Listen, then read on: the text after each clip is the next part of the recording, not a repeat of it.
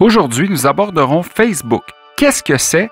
Officiellement, c'est un réseau social qui vaudrait environ 500 milliards de dollars américains. En fait, c'est une machine publicitaire à imprimer de l'argent. Pour faire un petit historique, Facebook a été conçu par Mark Zuckerberg et ses acolytes à l'université de Harvard en 2004. En effet, pour se situer dans le temps, YouTube a débuté en 2005 le iPhone est arrivé en 2007 et c'est le tout début des applications mobiles. Le nombre de membres actifs à ce jour en 2019 serait évalué à 2,5 milliards d'utilisateurs. Facebook est un site assez simple d'utilisation, cependant il possède une tonne de fonctionnalités. À la base, il s'agit, si l'on veut, d'un fil de presse que vous gérez.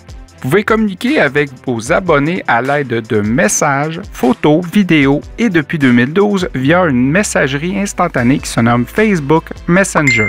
En fonction de l'algorithme de Facebook, vous apparaîtrez dans le fil de vos amis. Concrètement, Facebook est une machine publicitaire très puissante. D'ailleurs, sachez que si vous faites certaines recherches sur Internet, fort à parier que ces publicités relatives à ces recherches apparaîtront sur votre fil. Peu le savent, mais des milliards de dollars sont en jeu avec ces publicités. Pour terminer, assurez-vous de prendre vos prédispositions en cas de décès. Qui va mettre votre compte en mode commémoratif? Ou l'effacer tout simplement? Si vous ne le faites pas, vous apparaîtrez dans la zone Amis que vous pourriez connaître. Un peu bizarre.